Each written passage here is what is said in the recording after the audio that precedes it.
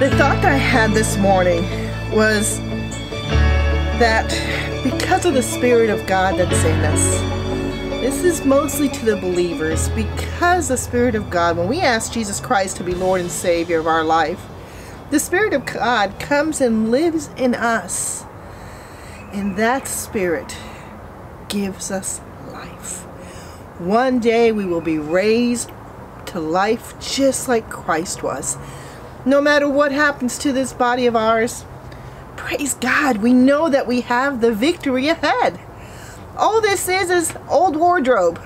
One day God has new wardrobe for us. And I am just going to read through these scriptures. I'm going to let the word of God be what ministers to us this morning. 1 Thessalonians 5. But concerning the times and the seasons, brethren, you have no need that I should write to you for you yourselves know perfectly that the day of the Lord comes as a thief in the night. For when they say peace and safety, then sudden destruction comes upon them, as labor pains upon a pregnant woman. And they shall not escape. But you, praise God, but you, brethren, that's us, those who have accepted Jesus Christ as Lord and Savior, and truly made them, made Him Lord of their life. It says, to you, brethren, you are not in darkness, so that this day should overtake you as a thief. You are sons of light and sons of the day. We are not of the night nor of darkness. Therefore, let us not sleep as others do, but let us watch and be sober. That word sober there is self controlled. For those who sleep, sleep at night, and those who get drunk are drunk at night. But let us who are of the day be sober, again, self controlled, putting on, excuse me, putting on the breastplate of faith and love as a helmet and the hope of salvation. We keep right here in our heart faith and love toward the Lord, toward one another. And that helmet of the hope of salvation, you know, the people's minds cause them to do things that are so wrong. People fear and they get sick. Because of fear, it affects your whole body.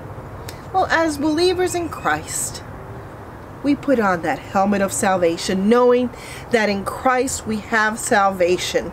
No weapon formed against us shall prosper. There is no one greater than our God, and no one loves us more than our God Almighty. God the Father says, but let us who are of the day be sober, putting on the breastplate of faith and love, and as a helmet the hope of salvation. For God did not appoint us to wrath, but to obtain salvation through our Lord Jesus Christ, who died for us, that whether we wake or sleep, we should live together with him. We have a hope that one day we will live together with the Lord God Almighty, creator of heaven and earth, who is preparing a place for you and for me. It says in verse 11, and this is what I had last night. I just I kept thinking in the middle of the night of 1 Thessalonians 5:11. And this is what it says. Therefore comfort each other and edify one another, just as you also are doing. We are to remind one another, to edify one another, to speak to one another of the goodness of God, to remind one another when things get rough. This is just a temporary state. God is preparing wonderful things for us in eternity. All the blessings that God has are not here on this earth. He blesses us here, yes, but what He really has for us he is preparing in glory for us. And one day we will enjoy those blessings in a place where there is no fear, there is no tears, there's no sickness, no disease. We will rejoice forevermore with our Lord and Savior Jesus Christ. Oh, the wonders that we will see. I was going to read 1 Peter 3, but we're not going to have time. Um, 1 Peter 3 18 says, For Christ also suffered once for sins, the just for the unjust, that he might bring us to God. That's you and me, he who believes in Jesus Christ as Lord and Savior. being put to death in the flesh, but made alive by the Spirit. As Jesus rose from the dead, one day we will also raised from the dead.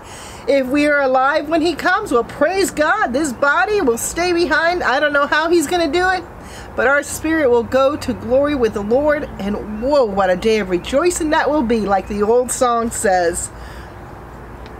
Romans 8 9 says, But you are not in the flesh, but in the Spirit, if indeed the Spirit of God dwells in you.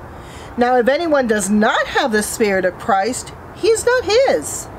And if Christ is in you, the body is dead because of sin, as all flesh can't stand before a holy God.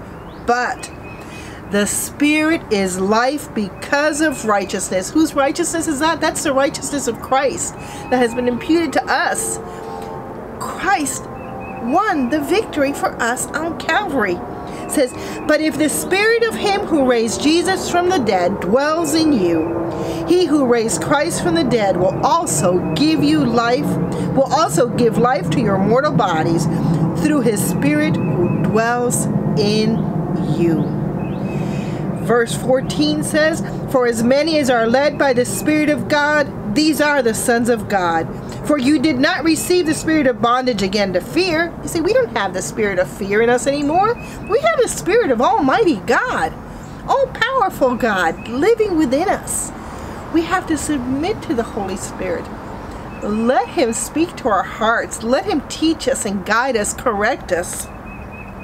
It says, for you did not receive the spirit of bondage again to fear, but you received the spirit of adoption, by whom we cry out, Abba, Father. The Spirit Himself bears witness with our spirit that we are children of God.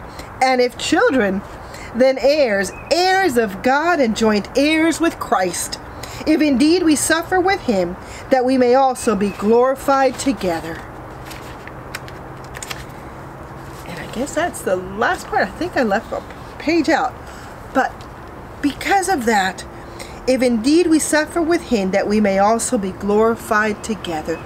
One day we will be glorified with our Lord. It doesn't matter whether things are going good or bad down here. One day things will be made right. And because of that, you can keep a praise song in your heart. Rejoice in the Lord always. And again, I say rejoice.